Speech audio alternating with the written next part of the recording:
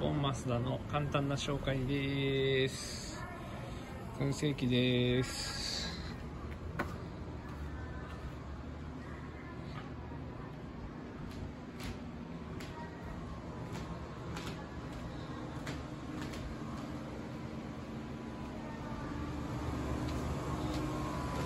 こちらがキッチンです。